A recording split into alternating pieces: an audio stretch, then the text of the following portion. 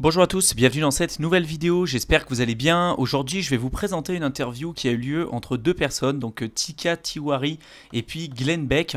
Alors pour ceux que ça intéresse un petit peu pour savoir le curriculum vitae de ces deux personnes, je vous laisserai des liens en description de vidéo qui vous permettra bah, de faire des, recherches un peu plus approfondies là-dessus. Mais pour tout vous dire, là ce qui va nous intéresser ici c'est vraiment le point de vue de Tika Tiwari. Hein. Ça fait partie euh, des personnes aujourd'hui qui ont été les plus jeunes à avoir été recrutées par les Man Brothers, donc euh, il y a quand même un curriculum vitae très très très très euh, euh, vraiment fourni dans tout ce qui est finance, économie, etc. Et donc il y a une interview qui a été euh, effectuée en 2018. Alors ça date pas d'hier hein, forcément, mais c'est vraiment intéressant d'avoir ça en tête et il vous montre avec des chiffres et des éléments à la clé qui montrent typiquement que les institutions sont aujourd'hui en train de se placer sur le Bitcoin et de ça depuis très longtemps maintenant. donc c'est il y a beaucoup de personnes aujourd'hui avec qui on échange et qui ne croient pas encore que les institutions ont déjà mis les pieds dans les crypto-monnaies et plus particulièrement sur le Bitcoin. Alors là, il donne encore d'autres éléments supplémentaires, peut-être qu'on n'a pas encore couvert sur la chaîne YouTube. Donc je trouvais ça intéressant de vous le présenter euh, à l'heure actuelle. Donc sache, si tu viens nous découvrir à l'issue de cette vidéo, bah, sache qu'on a une chaîne exclusivement dédiée à l'investissement dans le domaine des crypto-monnaies. Donc si c'est un sujet qui t'intéresse, je t'invite à t'abonner tout de suite à notre chaîne YouTube pour ne pas rater nos prochaines vidéos. Je t'invite également euh, à télécharger gratuitement notre ebook simplement en cliquant dans le lien qu'on aura mis dans la description. Donc tu verras, si tu es débutant, ça te permettra de mettre les pieds correctement dans le domaine des crypto-monnaies. Ça t'évitera de faire des grandes erreurs et ça te donne une ligne directrice. Euh, voilà, vraiment euh, tout de suite pour que tu puisses bah, faire tes premiers pas correctement dans le domaine des crypto-monnaies.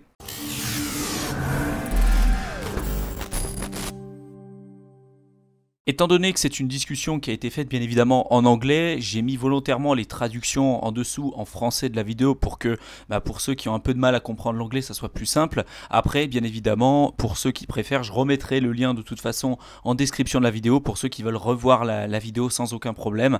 Donc euh, n'hésitez pas. Originally, when I was first exposed to Bitcoin, I thought it was a fraud and a Ponzi scheme. I said, you know, this just doesn't make any sense. A bunch of guys that are mining this kind of magic internet money, and we're going to say now it has a value. It just seemed ridiculous to me. And then I saw Bitcoin crash, right? Bitcoin went from seven, I saw it go from $7 to 1200 and then crashed to 200. And I thought, okay, well, that's the end of Bitcoin then. And then something really interesting happened. You see, when something's fraudulent or it's a bubble, when it crashes, it goes to zero, right? WorldCom Bernie Madoff went to zero. Bernie Madoff went to zero. Enron went to zero. It doesn't have any value. And then I looked at Bitcoin, and it was still worth about $3 billion. And I said, okay, I'm missing something here. So then I heard a speech given uh, in uh, January of 2016, and I finally understood the power of Bitcoin and the blockchain. I realized this was a way that people who didn't know each other, like each other, or trust each other could transact in a yeah. trustless way and that we could own value that nobody else had any claim over, which is not the way the world works right now. It doesn't matter how wealthy you are, if you own real estate, stocks, bonds, or gold, if the government wants to take your money, there's really nothing you can do about right. it. The beauty about cryptocurrency is if you keep your private key, your password safe, and don't blab it to the world that what you own, no one can take that from you. Right. And that's, that's never happened before. If you're a terrorist or a GRU agent or a drug dealer and you're using Bitcoin, you're dumb. You're dumb. You're dumb. That's how we caught the Russians. Yeah, that's exactly we how we followed their Bitcoin. Them. We followed their Bitcoin. Okay. Yes. So it's, again, and this is one of the things you're kind of going to get into with the, the conspiracy that is going on, if you, if you can call it that. I, I call it that, Glenn. It is. What do you call it when people are – deliberately pushing down the price of an asset yeah. Uh, publicly and then going out and then, privately and buying it. Yeah. That's manipulation. Yes, it is. It's a huge transfer of wealth that's happening right now. The last time I saw something like this was back during 1994 to 1995. In the, in the early uh, to mid 90s, individuals were making just enormous amounts of money buying companies like Dell, AOL, Microsoft, uh, Netscape, and some of these smaller internet stocks and the institutions had completely missed that bull market. And so they were scoffing at these so-called lemmings. And so during 1994 to 1995, we had a bit of a bear market. And so, again, institutions were out saying that, oh, anybody buying internet stocks, you're idiotic. And so you had a lot of people selling their AOL, selling their Microsoft, selling their Dell shares. Guess who was buying? It was the institutions. If you look at a chart of institutional allocation to uh, venture capital internet deals, it doubled between 1994 to 1995, which was exactly when institutions were saying, oh, this is just a market for idiots. Mm-hmm. Nobody should be buying this stuff. Mm-hmm. So they, they literally stole all this wealth that should have been in the hands of individuals that owned Dell, Microsoft, and AOL. And then from 1995 to 2000, of course, you know, we saw $5 trillion come into the market and the biggest bull market we've ever seen. So this blueprint of creating fear in order to get cheap prices is, is nothing new. So you we, know, hang on just a second, yeah, before you go on. Yeah. This one is really important to me because right.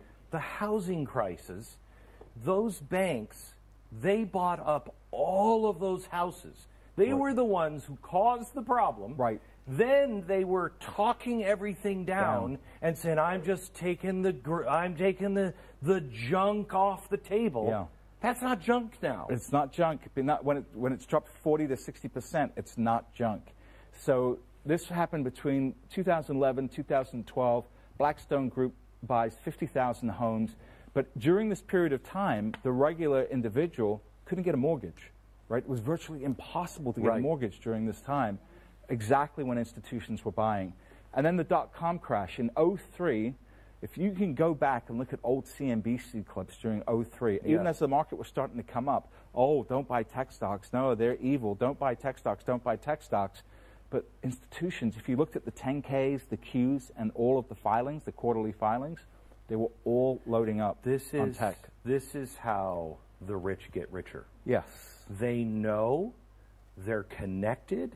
A lot of times they're coordinating yes. Uh, without the insider trading. This right. is not illegal to do. No, um, manipulating the news cycle, if you're yes. smart about it, is, is right. they can get away with it. Nobody's ever been arrested for anything like so this. So now, with crypto, yes, I know personally I know people that would have gotten in or stayed in right. if these people weren't saying what they're saying. Right. And so this this has really been extremely egregious. So on September 12th, Jamie Dimon says Bitcoin is a fraud. He says he'll fire any one of his traders buying Bitcoin.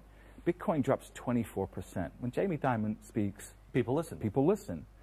So that weekend, we found out that the largest buyer of a, of a Bitcoin fund that's in Europe that buys physical Bitcoin, right? The largest buyer was Morgan Stanley and JP Morgan. And that's not illegal. He says it's a fraud. Says he fire anyone I'll that buys fire. it. Yes. And at the same time, his company is buying his it. company is buying it. So ir- it's just, I mean, so unethical. Right. Okay, George Soros. George Soros in January 24th price was already down, calls Bitcoin a bubble, says Bitcoin is the worst, you know, the worst investment in the world. Don't buy Bitcoin. Don't buy Bitcoin. Basically throws uh, gasoline on the fire yeah. at this point. And then what do we find out? So he says bubble here. It drops 44%. Right. And then here in April, two months later, guess what we find out? Yeah. His $26 billion family office has approval to buy cryptocurrency. Right. And you only, we only knew about it publicly Right. Here. Here. Okay. So then here now, Goldman Sachs, this, again, February 7th, most cryptocurrencies will crash to zero. Now, I remember when they said this in February, and I had, through my network, I knew that Goldman Sachs was setting up a crypto trading desk. Absolutely knew they were setting up a crypto trading desk. And I then, remember you telling me that. Right. And then, uh, of course, they were denying it. No, yeah, we're not. Yeah, yeah, no, we're not. No, we're not. Price falls down 27%. And then what do we find out? We find out here uh, they say BTC zero, and then we find out just before May, new trading desk. Not only that, they put $400 million to buy a cryptocurrency trading platform. Okay, so February 7th, oh, it's all going to zero. May, oh, we're gonna, we just spent 400 million just on a, on a flyer. And they're not the only ones. No, no. Um, so you have a lot of institutions that are coming. You had Christine Lagarde from the IMF yeah. come out. And this was what's funny about this, Glenn, is it was all around the same time. It yeah. was almost like the I can't prove collusion, But you know, it walks like a duck, it quacks like a duck. And, and you know what? It's probably a duck. The people, they all hang out together. They all think alike. It doesn't right. have to be calling each other. Yeah. They just they know this game. Yes. So IMF, Christine Lagarde says in the first part of the year, says all central banks should band together against right. cryptocurrency. What this did was play into people's heads that these guys are never going to let Bitcoin survive. survive. Right. And so people thought they this is over. Selling. Yeah. So let me show you. I'm, can we show a chart of the five crashes? This is from I think last year, right? Last year. Yeah. Okay. Do, do we have, we have that chart of the the five crashes of of Bitcoin? Right. Was thirty percent. Right. Was I think four of them were thirty percent, and right. one was forty percent. And uh, and this is here it is. This is one year. That's just last year. Yes. That's Explain this. Year. So uh, so I had recommended Bitcoin back here and in 2017, we just saw this massive volatility. And you got to remember, if you don't see that, you see this big move down, and you're yeah. just you're freaking out. So every time this happens, most people. I mean, a 40% crash is is scary. That, that's what happened in July. So this is one of the reasons why I say that Bitcoin is, is not a bubble, because if you look since 2011, we've had four major moves from right. lows to high, from lows to high. And even if you bought at the high of each move, you, you, you have still made money. Right. And, and that, is, that can't happen in a bubble. No. That can't happen in a fraudulent asset class. Okay. Rather than uh, listening to what people are saying, look at what they are doing. Correct. So this is what we should look at, and this is what I want people to focus on now. Billionaire hedge fund manager Steven Cohen, who's worth between 12 to 14 billion dollars, by far the smartest hedge fund manager in the world, I would say of the last century, is buying Bitcoin. $6,800 buying Bitcoin. Marc Lasry, Avenue Capital Group, worth about $1.7 billion, has put 1% of his net worth into Bitcoin at around this price, $7,500. Andreessen Horowitz. Marc Andreessen. That's right, Marc Andreessen. An early investor in Airbnb, Skype, Facebook, just launched yeah, a 300 yeah, and Coinbase just launched a 300 million dollar fund. Wellington Capital, they have a trillion dollars in assets, are starting to get involved in Bitcoin futures. Susquehanna, the 12th largest trading firm by volume, they now have their own Bitcoin custody department, their own trading department, and they're trading Bitcoin and Ethereum. Goldman Sachs, this new CEO, David Solomon, the most pro Bitcoin slash cryptocurrency guy on Wall Street the most pro Goldman Sachs. Goldman Sachs. He's the new CEO. He's coming yep. into power shortly. BlackRock, this announcement just came out, the world's biggest asset manager. Now, last year, Larry Fink says, Oh, you know what cryptocurrency and Bitcoin's good for? Yeah. Money laundering and yeah. drug dealers. Right. Right? So, again, you, if you look at what he's saying, you're going to sell your Bitcoin, right? Yeah. You're going to say, Oh, this is, this is yeah. all BS. But guess what is happening now? They're going to launch an ETF. They're looking at an exchange traded fund right. That will allow you, uh, allow anybody with a brokerage firm to make it as easy as hitting a buy button to go out and buy Bitcoin.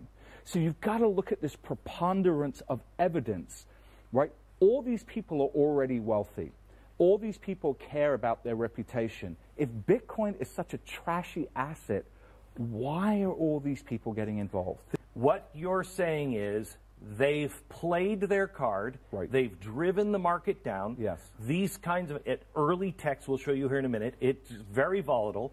But then at the bottom, they say, don't go in, it's going to crash, and it's going to be worse. buying. They all start buying. Yeah. You're saying now is the time to get in. Now is the time because they're coming. Yes. And now. once they come, you will see this market absolutely okay. explode to the upside. So Si on avait vraiment une seule phrase à retenir de toute cette interview, c'est vraiment n'écoutez pas ce que ces gens-là disent. Regardez vraiment ce qu'ils font. Les institutions, aujourd'hui, je l'ai déjà montré à plusieurs, à plusieurs reprises sur la chaîne YouTube, achètent des crypto-monnaies, plus particulièrement du Bitcoin. Si vous, vous avez plutôt une vision long terme, euh, essayez de comprendre véritablement ce que ces gens-là font. Ils ont fait exactement la même chose avec Internet, ils ont essayé de s'accaparer la majorité euh, des nouvelles richesses qui étaient créées, c'est ça depuis euh, des, dizaines et des dizaines et des dizaines d'années. ça s'est toujours passé comme ça et ça continuera de se passer comme ça. Malheureusement, il y a beaucoup de personnes qui écouteront encore ce genre de personnes quand euh, le Jamie Dimon, donc le, PDG de, JP Morgan, euh, disait que le Bitcoin était une fraude, que c'était uniquement utilisé pour euh, le blanchiment d'argent, etc. Aujourd'hui, c'est avéré que bah, finalement, c'est plus le cas, ou du moins plus du tout dans les mêmes proportions que ça avait pu l'être à son commencement, puisque finalement, le Bitcoin, toutes les personnes qui l'utilisaient au départ pour faire du blanchiment d'argent, bah, il s'avère que c'est pas du tout un bon actif pour faire du blanchiment d'argent. J'ai déjà, déjà fait d'ailleurs une vidéo complète sur ce sujet-là. Donc soyez vraiment plus malin que la moyenne. N'écoutez pas ce que les grands médias essayent de vous faire croire, puisque eux, malheureusement, essayent de se placer plus tard. Et leur objectif, eh ben, c'est de faire fructifier leur argent. Ils ont leur intérêt en tête et non pas les vôtres. Donc euh, faites vos propres recherches. Je voulais vraiment vous montrer cette interview pour que vous ayez une vision un peu plus objective de tout ça. C'est pas quelqu'un qui sort de nulle part, hein, euh, Tika Tiwari.